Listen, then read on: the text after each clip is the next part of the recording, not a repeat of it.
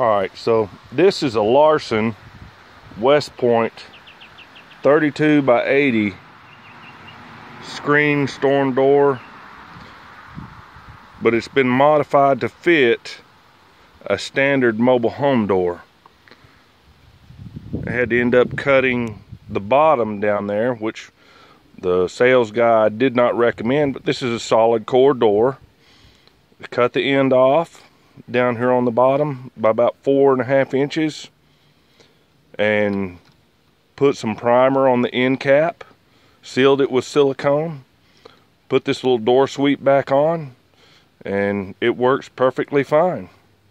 So if you know in a pinch you know I didn't uh, we don't have um uh there's my dog. We don't have a mobile home supply and the other dog. They love looking out the door now we don't have a mobile home supply near us or any place that we can get this stuff. So you see on the bottom right here, this trimmed off a fair good bit.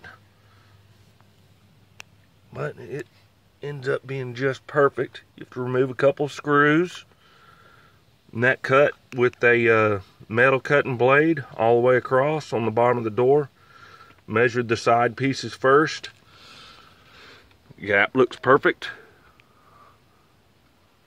installed the same way you would any other door. So if you got to have one, this was the easiest way for me to do it. Uh, since we don't have anything close by. Plus it was on sale, a lot cheaper. I think it was a $100. So there you go guys. Modified regular screen door to fit a mobile home door.